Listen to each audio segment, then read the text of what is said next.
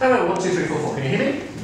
What, what, what a slick handover, fantastic. Before I get onto the, the technical bits, um, because one of my key points is actually, this isn't really about technology.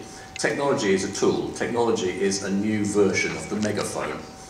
It's your message only louder and to more people and quicker and in more places. What people really want is face-to-face, head-to-head communication. This is how people have communicated through most of history by one person talking to another person.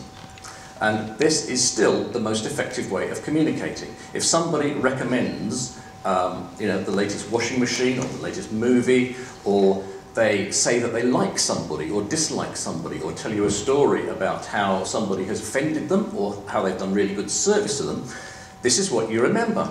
My friend said this to me, therefore I believe it.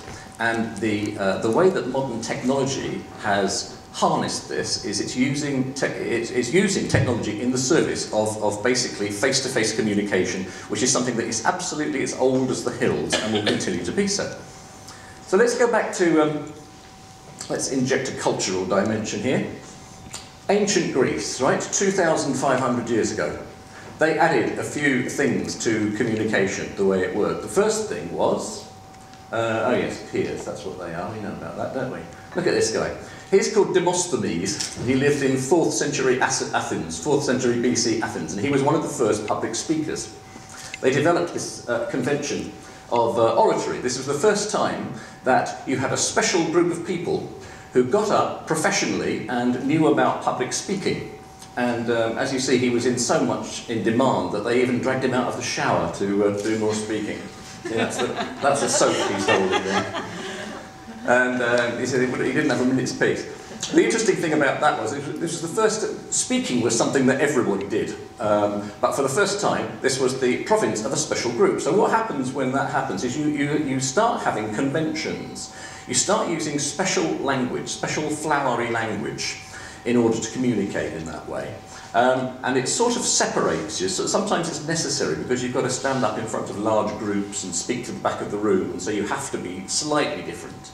Um, but it can get uh, carried away. Um, and then the, hold that thought for a minute because I'm going to tell you about another group that the ancient Greeks introduced, and that was actors. They also discovered that some people are really, really good at pretending. They're actually good at pretending to be somebody else. And uh, they, you can actually influence human emotions very, very well, very, very effectively. Like this, you can, you can get thousands of people to come and watch two people pretending to be somebody else. And that is pretty much all you've got. That, those are the basic ingredients of communications. You have a conversation among friends, you have official spokespeople and orators who speak in a special way on special occasions, and you have people pretending to be somebody else. So there we are with corporate video. So you think, uh, right, okay, I'm going to make a video for my company.